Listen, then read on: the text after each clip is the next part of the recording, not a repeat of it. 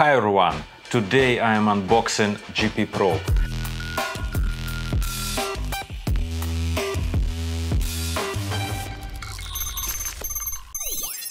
I will show the delivery set, how to set up the probe, and then we will see what inside the device. But first, let me explain the role of the probe in our solution. So, our GNSS interference detection and classification system consists of two main components, three-channel GNSS probe and GP Cloud. The probe is intended for streaming the measured parameters of GNSS signals into the cloud for real-time processing. At GP Cloud, we use a neural network to detect and classify anomalies anomalies in the raw data. Let's go to unboxing.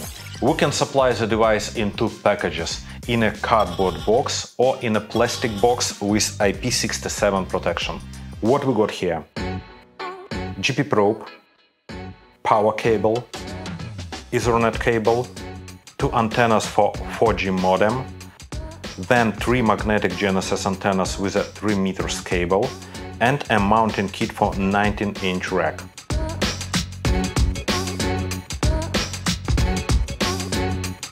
As you can see, the device is quite compact. It requires exactly half a unit in a 19-inch rack. On the front panel we see a screen, a button to change the screen mode, two connectors for 4G modem antennas, SIM holder, then there are three connectors for GNSS antennas. Why do we use three GNSS antennas instead of one or two. It's needed to ensure detection of a coherent spoofing attack. Why?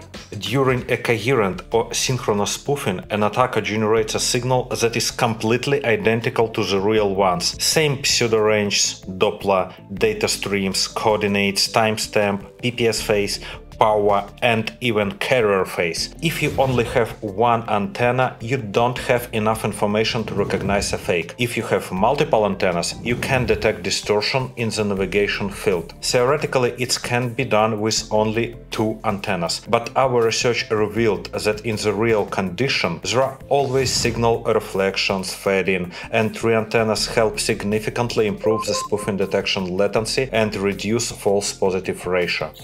There are two LEDs near each GNSS channel, one for indication of the pulse per second, the second shows the channel status, failure on normal. Also, there is an indicator for the status of a GP blocker. Learn more about the blocker at the link above. On the back panel we have two power modules that can operate in parallel, one for AC power and second for DC, then the PPS output. The probe generates PPS only if GNSS signals are validated and there are no anomalies, interference, spoofing or signal quality degradation. Then there is the PPS input. The device can measure the phase difference between the internal PPS and external one. It enables monitoring the health of your time saver. Nice feature normally open and normally closed relay connector. When an event is detected, the relay switches. GP blocker connector, two interfaces for connecting external devices, and Ethernet. A few words about available integration options. First of all, we have the GP blocker. This is a GNSS switch with a built-in GNSS jammer. If the system detects spoofing, the blocker disconnects a GNSS antenna from a receiver or time saver. This is the most basic way to protect a time saver, since if the GNSS signal disappears, a time saver goes into holdover. The second integration method. GP Probe has an integrated Lua scripting engine, so you can create custom scripts to send different commands to connected devices in case of an event. And the third method, GP Cloud has a well-documented API, so you can do all sorts of integration. It's time to launch the device.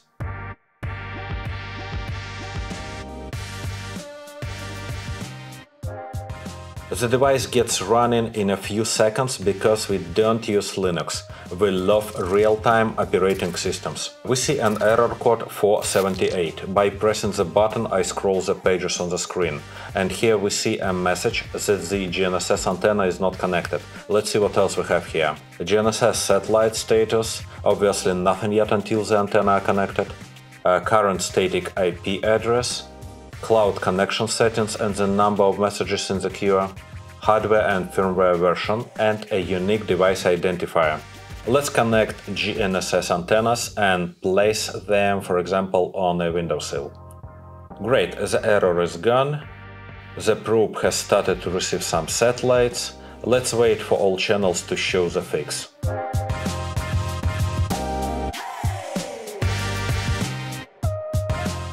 Nice. Uh, here we see that the probe is trying to connect to GP Cloud. Let's go to the web panel and configure the connection. Enter default IP address here, and we see the login page. The probe supports two roles, user and administrator. Default password for user is user and admin for admin. Here we see the status page. No connection to cloud, internal clock is not synchronized. Here we can set up the measuring channels. Connection configuration, GP blocker configuration, the probe can control up to 4 blockers at once. Here you can change the default passwords. Here you see a Lua automation script editor and debugger, logs and statistics. Here is where you can update the firmware and reboot the probe. Uh, let's go to the connection settings. The password to access the cloud is already set here, so let's just enable DHCP.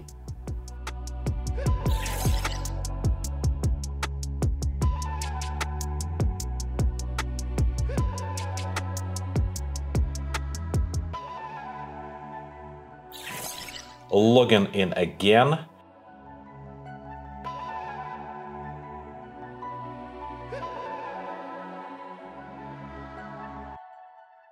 Here we see the normal status. Great. The probe is connected to the cloud and sends data. The internal clock is synchronized. That's all.